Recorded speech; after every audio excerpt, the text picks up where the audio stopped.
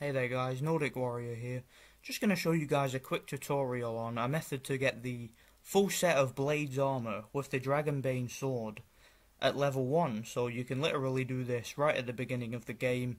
Uh, as you can see here I'm at level 1, I haven't done any quests yet, I've just finished Helgen and I'm outside as you can see Skyhaven Temple. Now what you'll need to do to get here of course is you'll need to head to the Reach which is at this point in the map and head towards Karthspire Camp.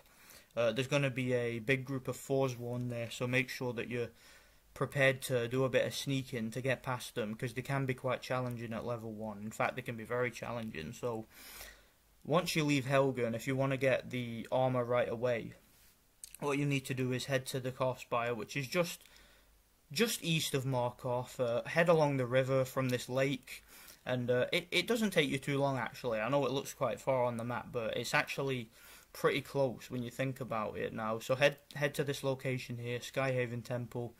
Uh, it won't take very long to get there, and once you've snuck past the Forsworn, what you're going to need to do is you're going to need to to get yourself a wooden plate.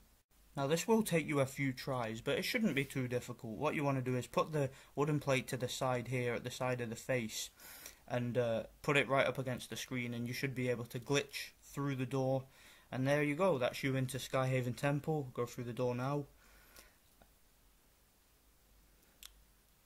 And you want to head over to the room on the left over here and there's going to be a full set of blades armor as well as a big bunch of blade swords and as you'll see soon the Dragonbane sword.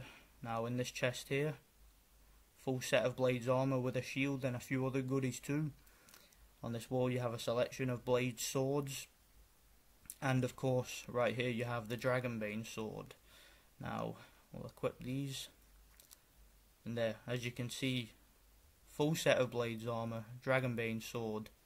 Really, really cool if you don't want to mess around and wait until the later levels in order to get good gear. If you want to get good gear right away and you've already played through the game, this is a really good way to start off your character. So let me know what you guys think anyway, and thanks for watching.